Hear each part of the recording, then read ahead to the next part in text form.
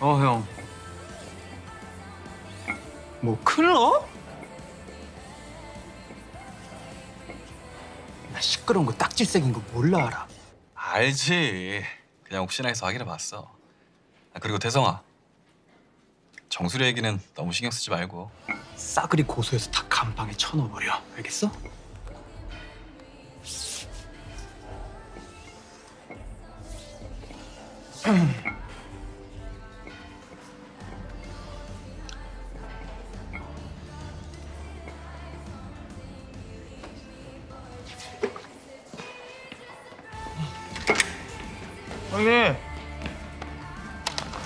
형님.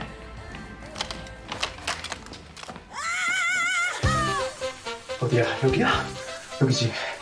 아까 냄새가 좀 났던 것 같긴 해.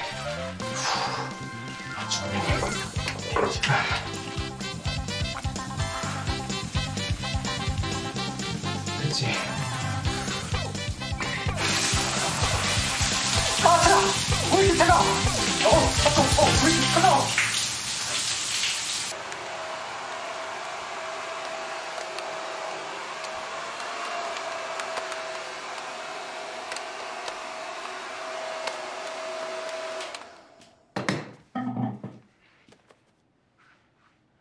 냄새 나?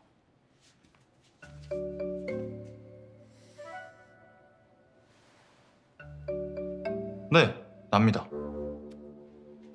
샴푸 바꾸셨습니까? 냄새 좋은데요?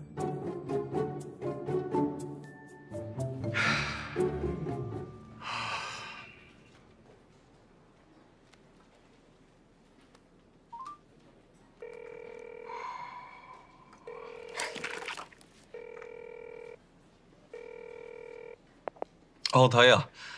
아, 다른 건 아니고, 아, 혹시나 해서. 나야?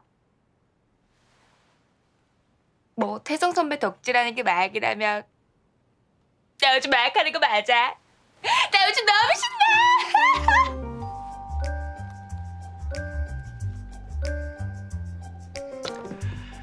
맞아. 얘도 정상은 아니었지. 아, 우리 애들은 다 왜 이럴까? 아유,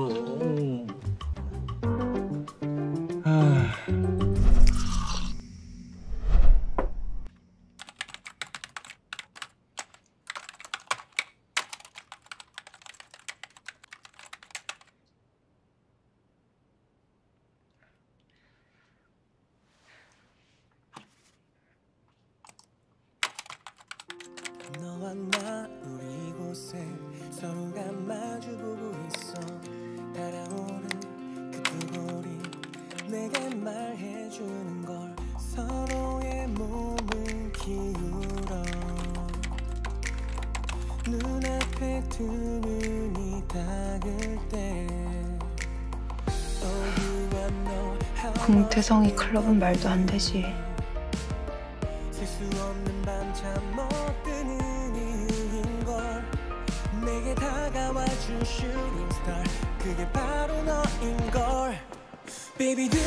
아유 졸업한 지가 언젠데 아직도 공태성이야.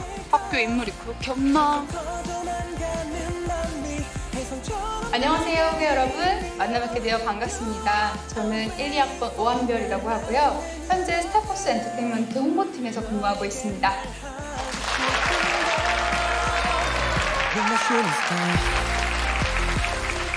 엔터테인먼트 홍보 업무는 사물이 아닌 사람을 홍보하는 일이기 때문에 더욱더 세심하고 진중하게 임해야 한다고 생각합니다. 자, 그럼 강의는 여기까지 하고요. 질문 받을게요. 연예인들은 자기 댓글 다 보나요? 어, 제가 반대로 질문 하나 할게요. 학교에 익명 게시판 있죠? 네.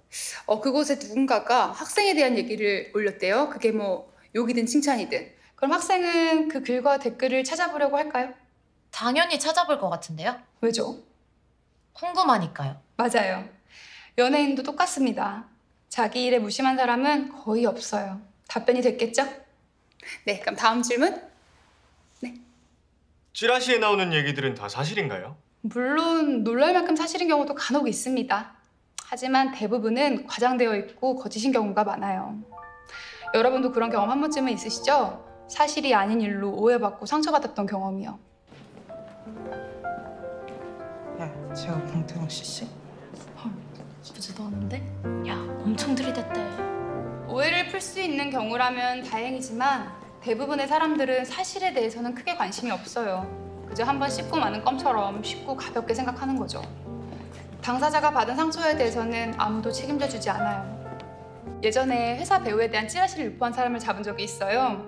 어, 정말 입에 담기도 힘든 말이었고요. 완전히 거짓이었습니다.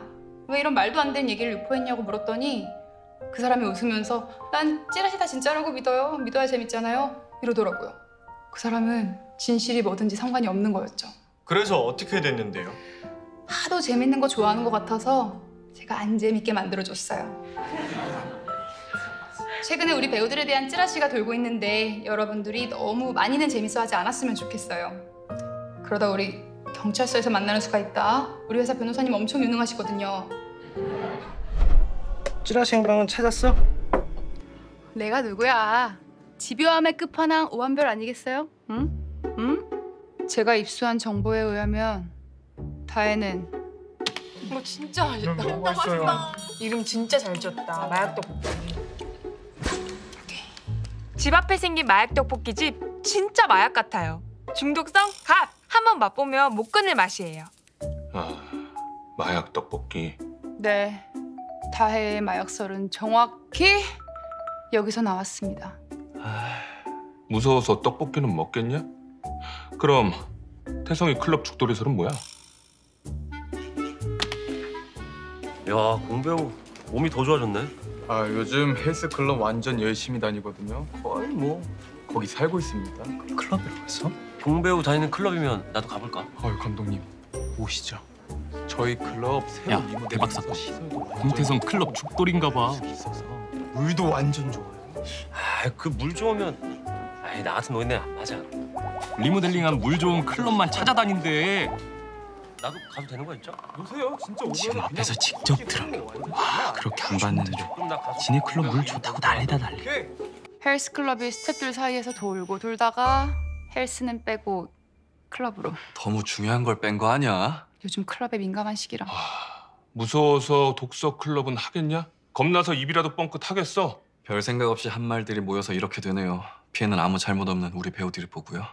뭐 지금 추이를 봐서 더 크게 불거질 것 같진 않고요. 사이버 수사대의 최초 유포자 수사 의뢰해놨습니다. 도 변호사님이 열일하고 계세요.